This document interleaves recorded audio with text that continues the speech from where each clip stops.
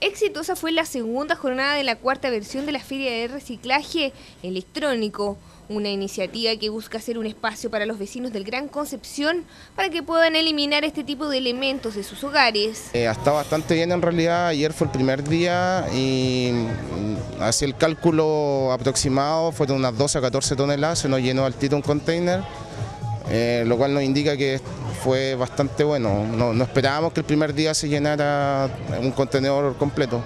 Así que hoy día, bueno, hoy día se supone que sube la cantidad de gente, el día domingo también.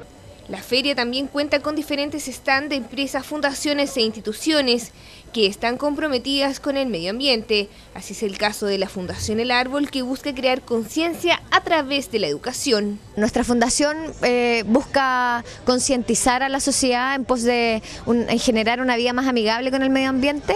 Tenemos tres líneas de trabajo básicamente. Una es la educación ambiental, la otra es la gestión de residuos domiciliarios y la tercera es el diseño sustentable.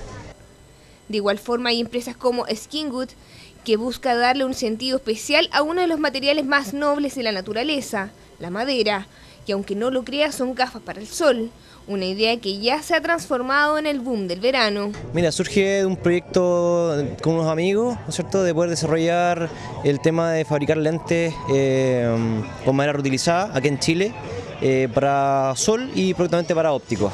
Mira, ha sido un poco lento eh, el desarrollo sobre todo de los prototipos, pero ya llevamos un año de desarrollo y tres meses ya eh, con el producto ya terminado y estamos recién vendiendo, nos ha ido muy, muy bien. El Centro de Investigación de Polímeros Avanzados, CIPA, también estuvo presente en la jornada, demostrando cómo se pueden reutilizar diferentes elementos que no son tan amistosos con el medio ambiente, como es el caso del plástico.